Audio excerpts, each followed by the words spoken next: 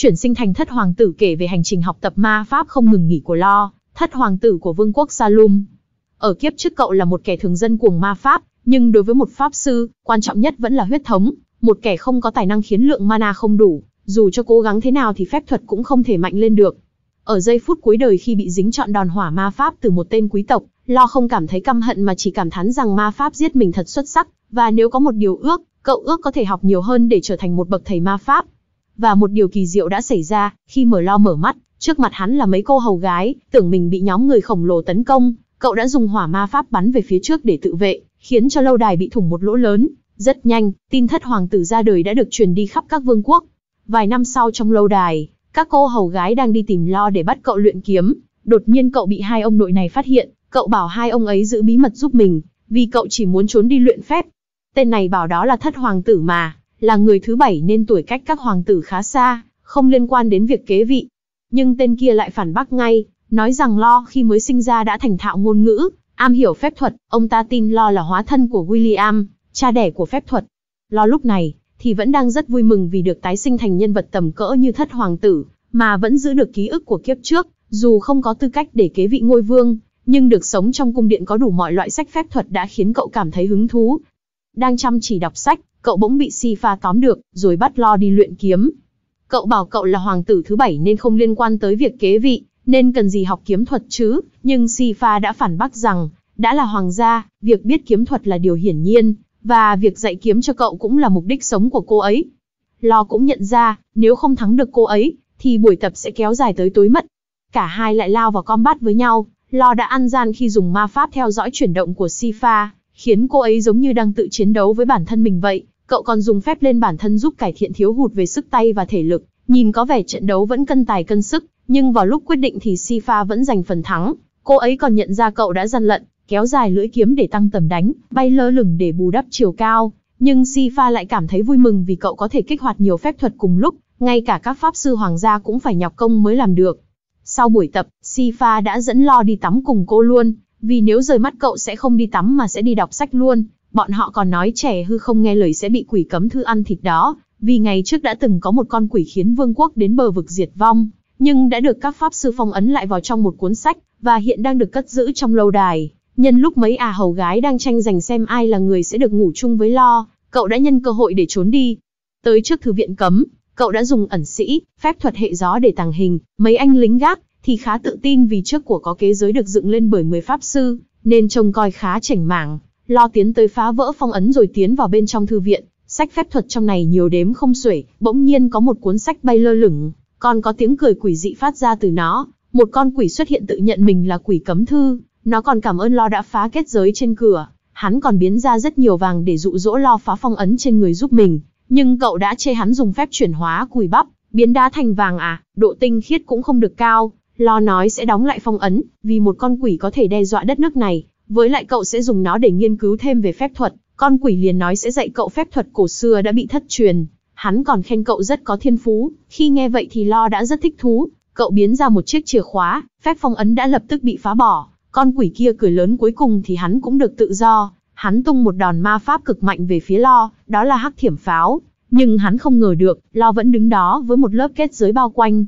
Cậu không hề tức giận mà còn xin con quỷ cho xem thêm chút được không? Con quỷ tức giận tung liên tục các đòn hắc thiểm pháo về phía Lo, nhưng vẫn không si nhê gì với kết giới của cậu. Lo còn đưa tay ra để tự mình kiểm chứng hiệu quả của nó ra sao. Dù đau nhưng cậu vẫn mê mẩn với vẻ đẹp của nó. Con quỷ tức giận biến thêm một cái đầu nữa để niệm chú đôi. Một đòn cực mạnh bay về phía Lo, cậu nhìn phép của hắn mà phân tích. Thông thường không thể tạo ra hai phép cùng một đòn được. Đây là đặc trưng của quỷ có thể tạo ra hai cái đầu. Hai chiêu này được hòa vào nhau rồi tung ra như một phép, tên quỷ sách thì đang hoảng hốt, đây là phép thuật mạnh nhất của hắn rồi. Con quỷ tính chạy trốn thì bị ngăn lại bởi kết giới, lo làm vậy là để bảo vệ mọi thứ bên ngoài, khiến cho con quỷ đổ mồ hôi hột luôn. Cậu còn muốn xem phép thuật phòng thủ của con quỷ, nên đã tung ra viêm liệt hỏa cầu về phía trước. Chúng nguyên đòn đó, con quỷ chưa chết mà chỉ ngấp ngoái. Sau trận chiến, Lo đã dùng phép đảo ngược để căn phòng khôi phục như cũ. Con quỷ thấy vậy thì cũng chịu thua và còn còn muốn được làm linh thú của cậu. Lo bảo hắn biến nhỏ lại để không bị phát hiện, tuy hắn không cam chịu, nhưng hắn đang cố tiếp cận đợi lúc Lo sao nhãng rồi ra tay giết cậu, nhưng khi hắn tiếp cận được Lo, thì lại há hốc mồm vì lượng ma lực của cậu quá lớn, hắn run rẩy đến nói chẳng ra lời. Hắn bảo từ giờ cứ gọi nô tài là Gzimo, Tuy muốn bật lại, nhưng bây giờ tạm thời cứ chịu khó đã. Thu phục Gzimo xong, Lo bắt tay vào việc đọc hết đống sách ở thư viện này. Buổi sáng ngày hôm sau Lo vẫn đang mải mê đọc những quyển sách phép, cho đến khi đệ nhị hoàng tử tới tìm cậu mới dừng lại. Cậu ta là người văn võ song toàn đến mức mọi người đồn là người kế vị, Lo không quan tâm đến ngai vàng nên dự tính sẽ bắn trượt hết tất cả các tấm bia. Thấy Lo bắn trượt tất cả các tấm bia, có một vị quý tộc đã nói cười mỉa mai cậu, nhưng sau khi tất cả mọi người rời đi, bây giờ cậu có thể thoải mái dùng phép, cậu tính sẽ dùng thử phép niệm chú đôi, nên cậu đã dung hợp Gzimo lên cánh tay mình. Nhưng khi thử dùng niệm 100 phép cùng lúc, não của con quỷ đã không chịu nổi, vì niệm chú liên hoàn thì cũng chỉ tầm 2 đến 3 phép thôi chứ. Thế là Lo đã cho con quỷ treo máy luôn, bây giờ miệng của nó chính là của cậu. Sau đó Lo kết hợp viêm liệt hỏa cầu và lăng liệt thủy cầu, hai loại phép thuật khác thuộc tính vậy mà lại kết hợp được với nhau, thấy phép này quá mạnh không thể tung xuống đất được, cậu đã hướng nòng phép lên trời rồi khai hỏa. Sau đó một cột sáng trên trời chiếu rọi cả vương đô, cùng thời điểm Ambed được hỏi tại sao lại thích quan tâm tới thất hoàng tử, cậu liền tiết lộ thật ra vừa nãy thằng em của mình nó cố ý bắn trượt, lo hoàn toàn có thể trở thành đại hiền giả. Tên quý tộc vừa nãy ngơ ngác khi vừa đó mà trời đã tối rồi, đó là do lo đã thổi bay cả bầu trời phía trên vương đô, cũng may vết nứt sau đó đã nhanh chóng đóng lại khiến lo giật hết cả mình.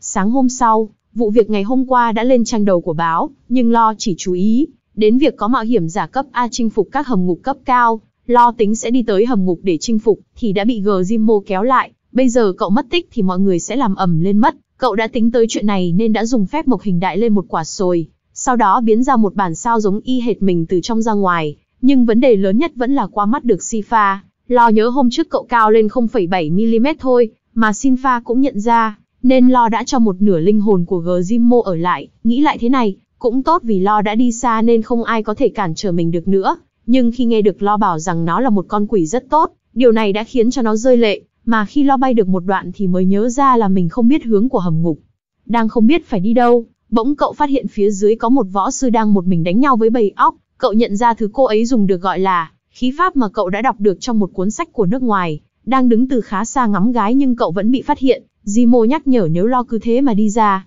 thì sẽ bị phát hiện là đệ thất hoàng tử mất, do thời gian cấp bách nên lo đã biến thân thành hình dạng khá quen thuộc, vẻ ngoài cậu lúc này là sự kết hợp giữa cậu và nhị hoàng tử Ambed, Ta O thì đang vui sướng vì hơn 18 năm ế ẩm, do đàn ông chỉ thích mấy cô gái yếu đuối, lần này cô nàng sẽ quyết tâm biến anh chàng điển trai trước mắt thành người yêu của mình.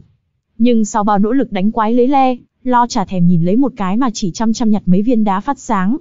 Trong lúc nghỉ giải lao, lo đã nhân cơ hội để hỏi ta o về chủ đề pháp khí. Để học được khí thì cậu sẽ phải luyện tập rất lâu dài, chỉ cần nhận ra khí thôi đã là khá lắm rồi. Nếu muốn dễ hơn thì cậu có thể hút khí từ cô, nhưng chỉ cần nghe qua ta o nói thôi mà lo đã có thể tự mình luyện tập rồi. Nhưng ta o đã rất lo lắng vì nếu không tập quen, phổi của cậu sẽ dễ bị tổn thương đó, nhưng lo lúc này đang rất phấn khích, vì cậu phát hiện ra khí có thể chuyển hóa được thành phép thuật. Còn bên Grim, sợ điều gì thì điều đó sẽ đến, loi hàng nhái đã chạm mặt Sifa, còn ta o thì đã hạ gục được bót hầm ngục, dương báu đã được mở, nhưng ta o nói trong này thì kho báu chắc cũng không mấy giá trị, nhìn qua thì thấy lo vẫn đang luyện khí kể cả lúc nói chuyện, hơn hết cậu còn rất chi là đẹp trai nên cô tin rằng ông già lắm mồm, cũng sẽ phải thừa nhận người chồng này của cô. Khi ta o định mở dương báu thì bỗng có một vết đao khí bắn ra, bên trong xuất hiện một con bót ẩn, Tên Lick này nhìn khá mạnh, điều này khiến Lo cảm thấy bắt đầu có chút thú vị. Sau khi thấy Lick xuất hiện, Ta O không nói gì mà đẩy Lo ra ngoài,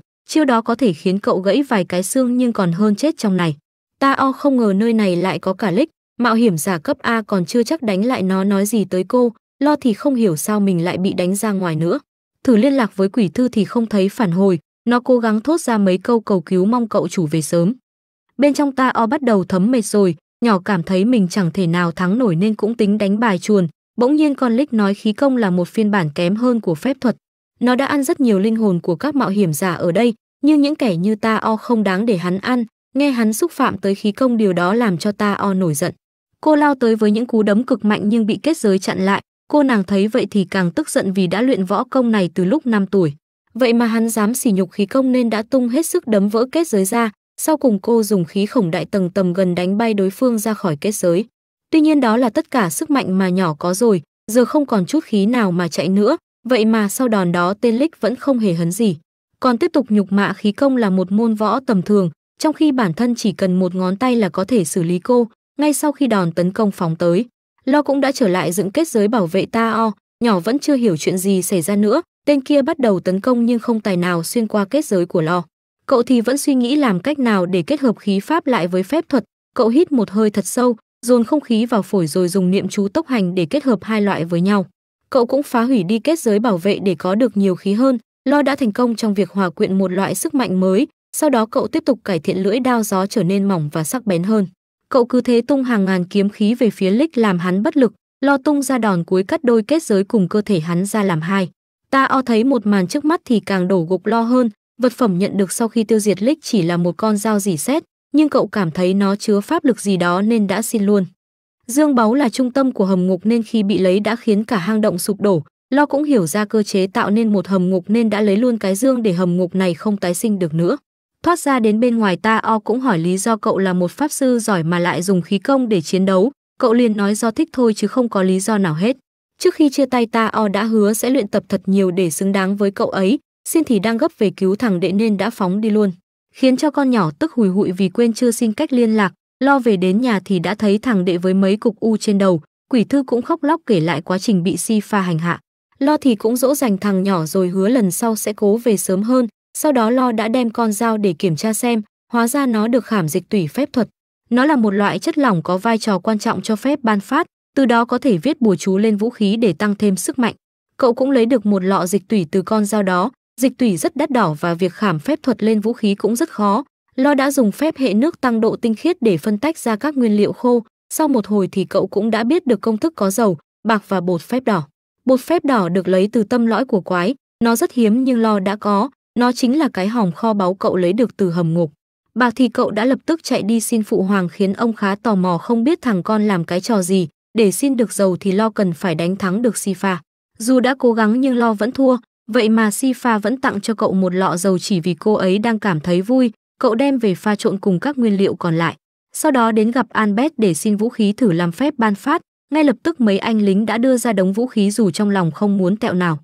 Lo trở về và bắt đầu vào khảm phép cho vũ khí, thanh kiếm đầu tiên sau khi được yểm ba phép cùng lúc đã không chịu nổi mà gãy vụn, sau một thời gian làm không ngừng nghỉ. Lượng kiếm đã được yểm thành công là 50 thanh trên 120 cây ban đầu, đúng ra là 80 cây nhưng cậu muốn yểm thêm vài phép nên chúng đã bị hỏng. Xem thử thành quả thì Albert đã rất kinh ngạc, đến cả các pháp sư hoàng gia thì cũng chỉ có 10% thành công, tài năng của Lo đúng là ngoài sức tưởng tượng. Chưa kể trong đó có một thanh kiếm có vẻ khá mạnh nên Lo muốn dùng thử nó trong thực chiến, biết vậy Albert cũng rủ Lo đi săn quái vật do phụ hoàng yêu cầu.